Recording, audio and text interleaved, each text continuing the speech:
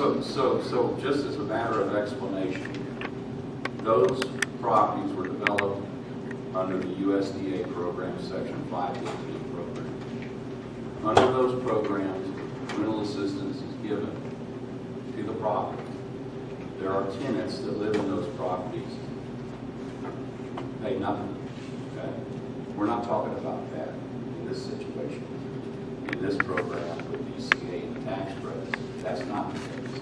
In this case, the tenants will be paying a minimum of three hundred and ninety dollars a month for one-bedroom apartment. So, well, you're not allowed to have any kids if the management company chooses not to have them. But I will also tell you this, having represented senior housing, is that it's the kids that will hurt a project more than anything else, and that the owners don't want the children, because if there are a lot of children running around, then the seniors who are really there for the purpose of retirement or whatever, then, you know, they want to move out. It makes, it makes the property, uh, much more uninhabitable associated with that. So this, let's talk about discrimination.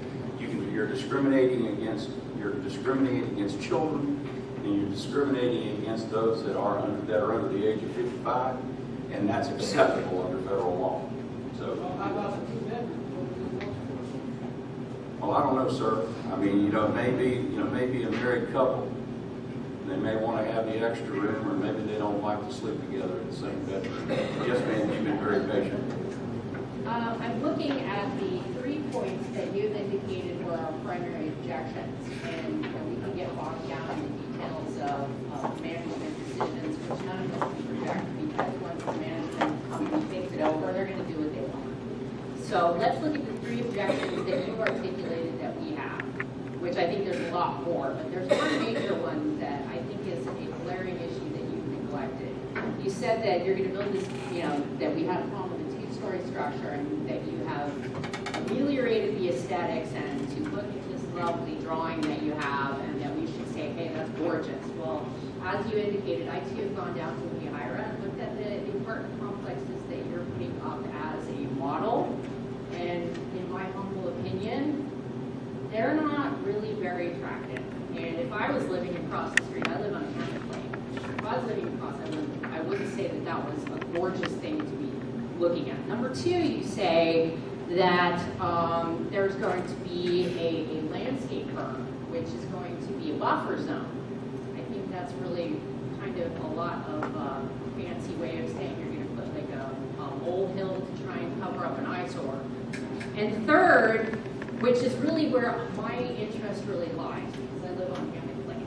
You're talking about this runoff, and your only answer to the runoff is this big blown up thing that says that it's going to be a very mediocre increase in the water levels around. Well, I've looked at your plans and I've looked that you have purported, and I, I underscore, purported a change, that you have created this retention pond. But you have no plan, as far as I can see, to be able to divert the water if the water rises above the level. If we've recently been in flooding zones, I personally, last week when it was raining really bad, was shoveling out my gutters to keep my house from flooding. Uh-huh. If Water, our dog is over right now. and if we have even a small amount of runoff from your apartment complex, we in the surrounding area are going to have a big, big problem. And one of the things that has been brought to my attention as one of your ideas is to pump through Hammock Lake, which I pay a lot of money for, for my dues, for, to, to maintain those lakes and to maintain the pumps that take care of those lakes.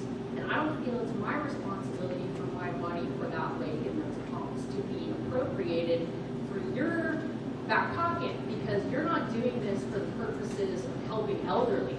You're Doing this for the purpose of making money. So what are you going to do?